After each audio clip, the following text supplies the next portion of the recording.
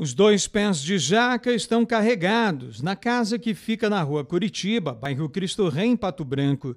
Frutos grandes e bonitos pendendo na árvore, envergando os galhos da jaqueira. São duas, com 16 anos de idade. Os pés de jaca ficam aqui na casa da filha do seu Francisco. São dois pés, né?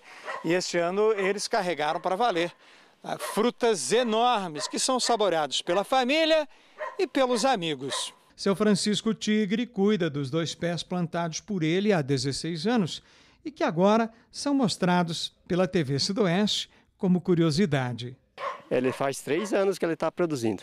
E como é que é? Quando ele é pequenininho, ele não é fraquinho para jada? É fraco. Eu saía de casa, que é uma quadra daqui, né? E vinha aqui e cobria. Fui salvando ele até que...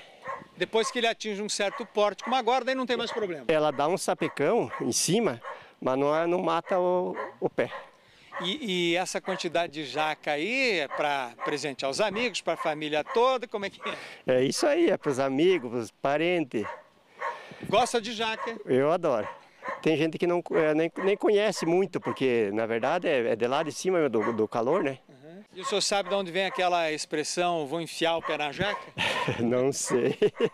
Mas já enfiou o pé na jaca? Já, alguma vez já, né? Verdade.